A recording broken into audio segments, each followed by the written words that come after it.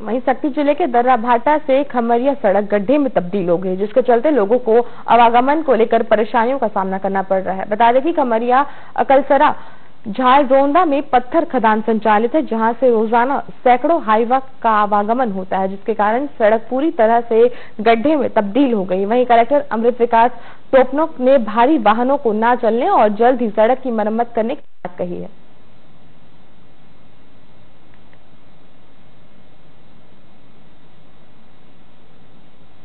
देखिए, वो जो एरिया है, वो बेसिकली आपका हैवी व्हीकल वाला एरिया है।